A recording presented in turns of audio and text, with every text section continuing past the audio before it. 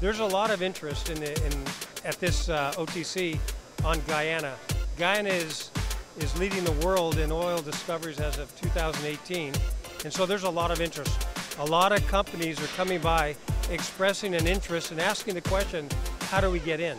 Or how do we find a partner that can collaborate with us in this field or this field or this other field? So Guyana is attracting a lot of interest at this event.